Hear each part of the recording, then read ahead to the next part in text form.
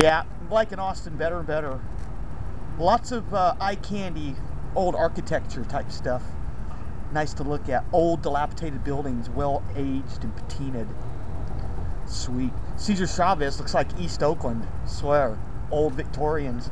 Not quite as big, but Texas style Victorians. Very cool.